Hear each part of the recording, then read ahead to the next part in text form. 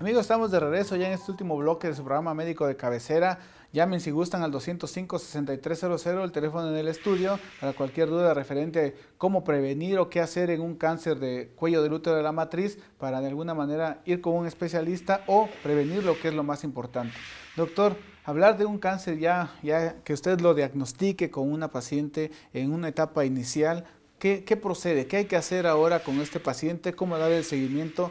Desgraciadamente en comunidades muchas veces la economía no, o la mayoría de las veces no se tiene. ¿Qué se hace para poder ayudar a, este, esta paciente? Bueno, este, están los hospitales del sector salud, de la Secretaría y del Seguro Social. Hay especialistas en ginecología y también hay especialistas en oncología. En ocasiones cuando el cáncer es este, pequeño y decimos que es in situ, que está localizado y que es pequeño, entonces ahí lo que procede es hacer un tratamiento de cono.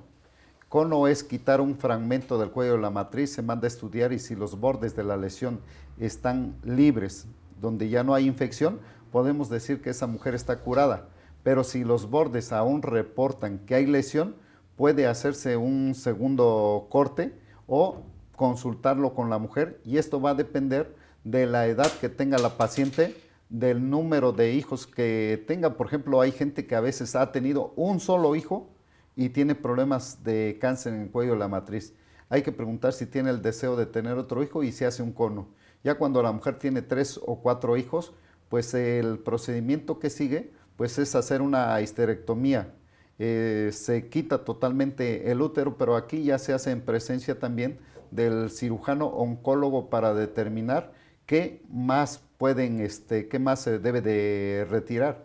Todos los ganglios que estén inflamados se mandan a estudiar y el patólogo dirá si existe la presencia de células cancerígenas en esos ganglios. Entonces, este, pues el tratamiento puede ser conservador o puede ser radical. Hay otro tipo de procedimientos que van aunados a todo eso y como es este, la radioterapia.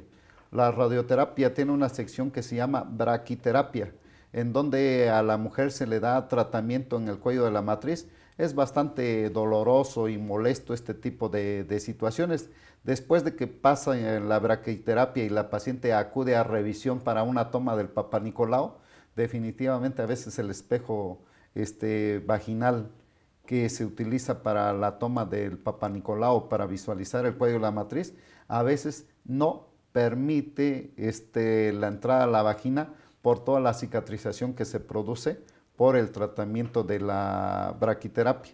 Y otro tratamiento que también reduce el cáncer, pues es este, la quimioterapia. Entonces, aunado quimio y radio van y después pues, se puede hacer un tratamiento quirúrgico. En este caso, doctor, en, las comunidades se cree que muchas, muchas hierbas, muchos eh, medicamentos paliativos o medicina alterna va a ayudar de alguna manera a mejorar este tipo de lesiones y evitan continuar su medicación, con, en este caso con un médico en un hospital y continúan, no sé, con la hierba, de, la, la piel de la víbora de cascabel, con la guanábana, que de alguna manera, no sé, doctor, en su conocimiento, qué tan benéfico va a ser esto para una paciente.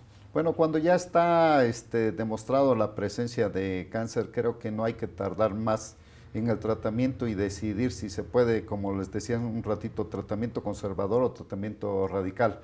En lo que tú mencionas a la guanábana, pues tiene eh, propiedades muy buenas que son propiedades antioxidantes y regeneradores eh, de la célula.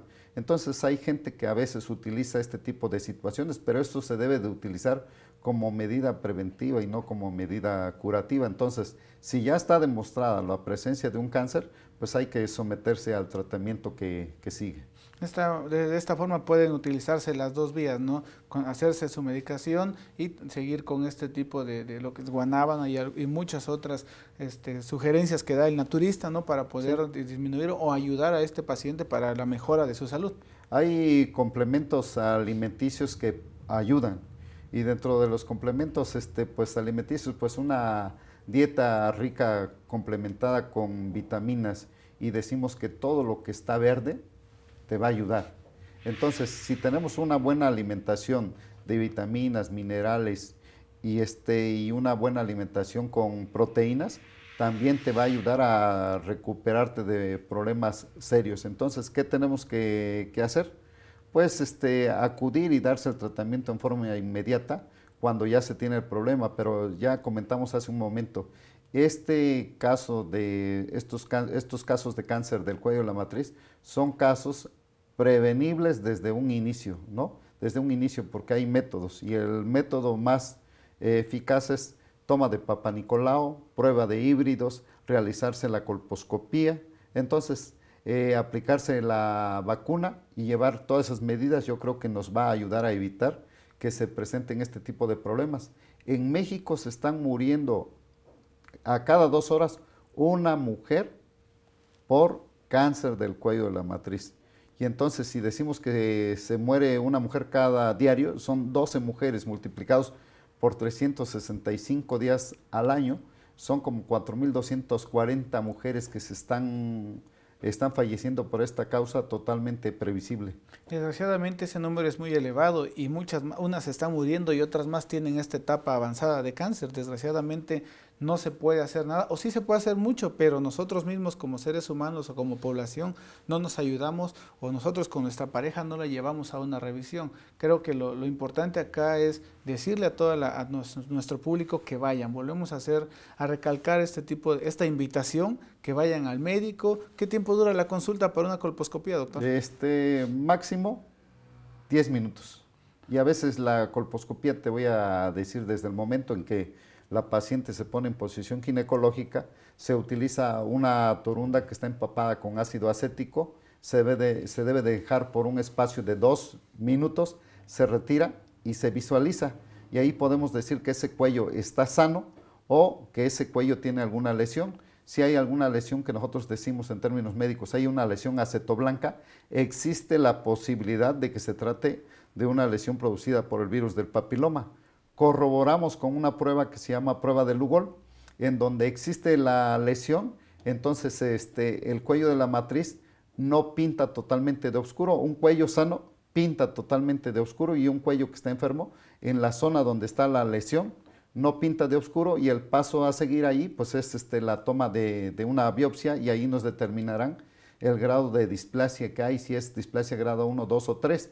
Pero eso también nosotros lo sabemos desde el momento que estamos haciendo la revisión por el tipo de, vasos sanguíneos que hay ahí.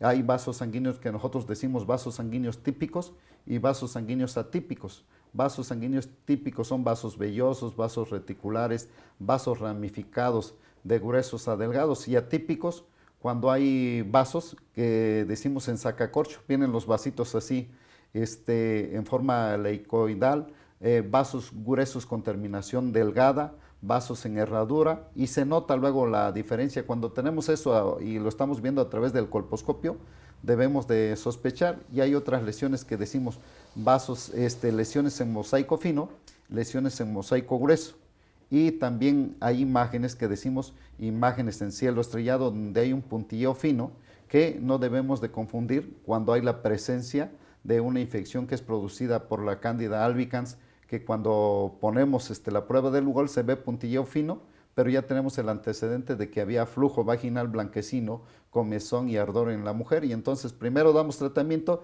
y debemos de repetir el estudio dos semanas después de haber terminado. Doctor, esto es muy importante para todos los médicos. Yo sigo haciendo hincapié. Debemos de tener nosotros como médicos una buena preparación para no asustar y para dar un buen seguimiento a nuestros pacientes. ¿Dónde podemos encontrar doctor para que las pacientes que gusten hacer este chequeo, para que vayan con usted? Ah, muy bien. Este, estoy en Melchoro Campo 415 entre Colón y Rayón. Ahí estamos para servirles. ¿Algún horario de consulta, teléfono? El horario de consulta de seis y media a ocho y media de la noche y mi número telefónico es el 951 165 50 63. ¿Hay que hacer previa cita podemos llegar eh, con usted, doctor? Pueden llegar en ese horario y ahí los vamos a atender con todo el gusto del mundo. Pues doctor Chacón, le agradezco mucho que esté con nosotros. Este tema es muy importante debido a, lo que puede generar y a la prevención que se puede hacer. Invitamos a todas las mujeres de nuestro público que asistan a una consulta, centros de salud, seguro, ISTE. Por favor vayan, eviten tener un problema mayor que es el cáncer. Desgraciadamente se hacen campañas contra el cáncer, pero no se, no se disminuyen los factores. Siguen estando por nosotros no ir a una prevención. Doctor, le agradezco, espero esté con nosotros en algún otro programa programa. Muchas gracias por venir, doctor. Gracias por la invitación y estamos a la disposición. Pues amigos, el programa está llegando a su término. Les agradezco que estén con nosotros. Nos esperamos en el siguiente programa. Ya va a ser año nuevo. Que pasen felices fiestas a todos y recuerden, sonría hoy que mañana puede ser demasiado tarde. Amigos, hasta pronto.